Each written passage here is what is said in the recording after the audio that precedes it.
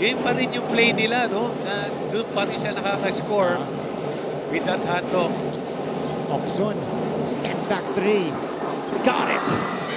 Miguel Okzon, nothing but net on that three-pointer.